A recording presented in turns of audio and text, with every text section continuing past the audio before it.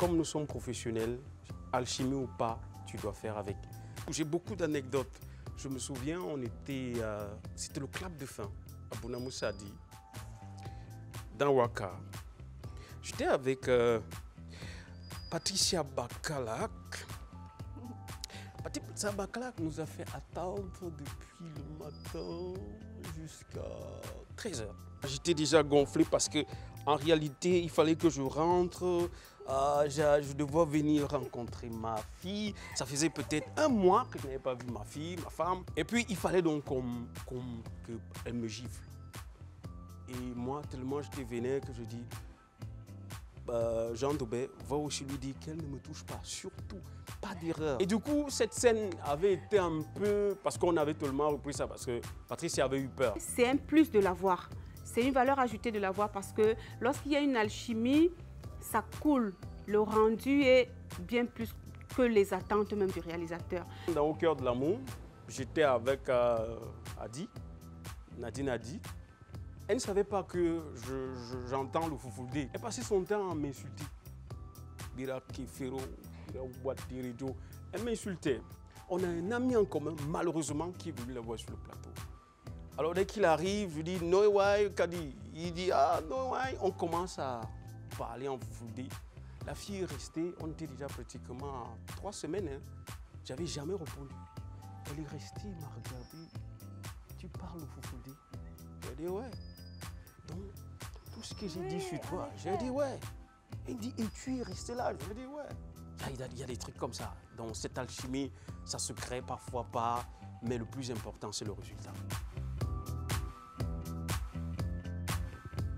Je pense à Thomas Guidiol.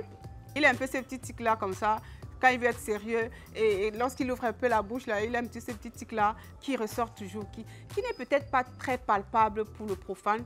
Mais moi, j'arrive à détecter ça et je pense que certaines personnes aussi. Alena Menget. um, I'd say he has this voice, this this loud voice he brings out in, in most of his movies and either way, whatever character he's playing, it gets to that point even if he has to shout or he has to be too too quiet or he gets to cry, but there's that particularity in his voice, in his tone where even on a daily basis when you meet him, he's still giving it. Alain Bomo Bomo que j'aime bien.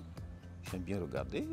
Des aînés comme euh, euh, Gérard Somba, ils ont quelque chose qui leur appartient. Si je peux appeler ça signature, c'est ça. Il y a une certaine personnalité, quelque chose qui les caractérise.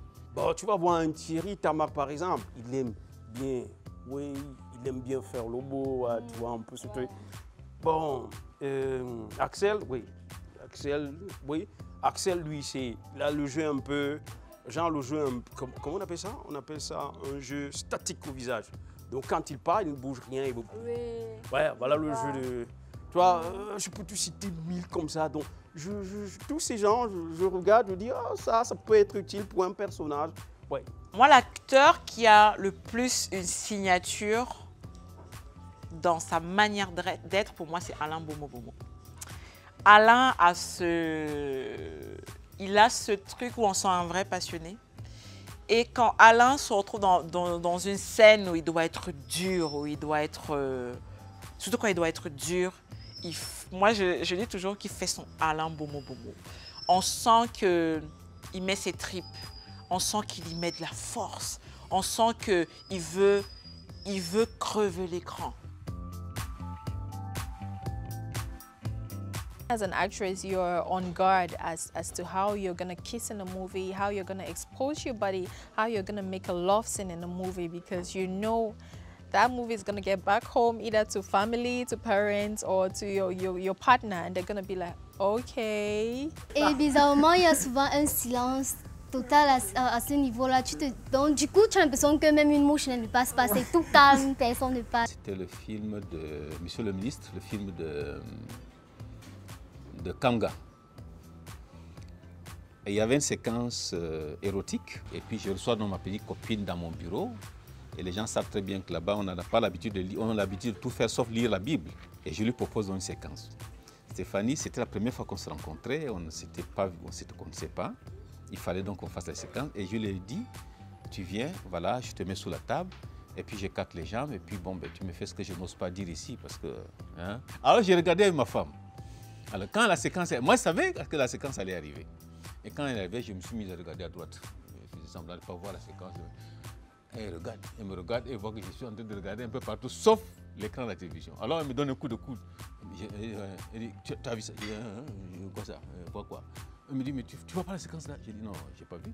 Elle me dit, tu n'as rien senti là-bas? J'ai dit, non, ça c'est du cinéma, machin. En tant qu'enfant, vraiment, on est, on est plus curieux de comprendre ce que monsieur et la dame là sont en train de faire que de s'occuper des parents. Je pense que la hygiène, elle est plus au, au niveau des adultes, en fait. Et ce que j'aime aussi chez Patricia, c'est ça. On avait fait notre scène d'amour. Euh, pendant que moi, j'étais là, je réfléchissais. Patricia avait déjà enlevé dans Waka. Elle avait déjà enlevé. Oui, euh, directeur, on l'a fait comment? Euh, Moi, j'étais en face de Patricia. Et bon, Patri- Pas- Patri- Patricia, quand même. Ouais, elle a quand même. hein, Ça, je peux pas dire. C'est pour les enfants, je me dis ça. Moi, j'avais mon petit Bémida. je posais une question, mais cette fille. Et du coup, tu vois, tu, tu transpires. Je vois, parce que ce sont des scènes délicates. Tu vois, la directeur elle-même est là. Tu veux même, je veux regarder Françoise Elon. Elle envoie le regard ailleurs. Tu sens que tu es seul. Tout le monde fait comme si non, il n'y a rien. On te regarde, toi, tu transpires. Je pense qu'au Cameroun, on est quand même assez free. Parce que les gens. Euh, Il y a le tabou, évidemment, il y a la gêne, il y a la pudeur, parce que les, Africains sont pudiques euh, de nature. Mais il y a aussi le côté où on sait que c'est quand même comme ça que ça se passe dans l'intimité et on, on l'accepte.